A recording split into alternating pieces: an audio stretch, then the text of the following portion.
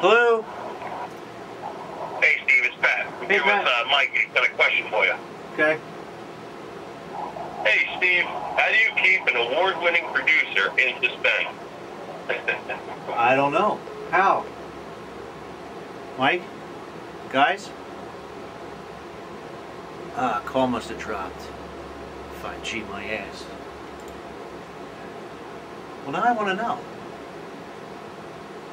Can I call him back? No, I gotta finish this.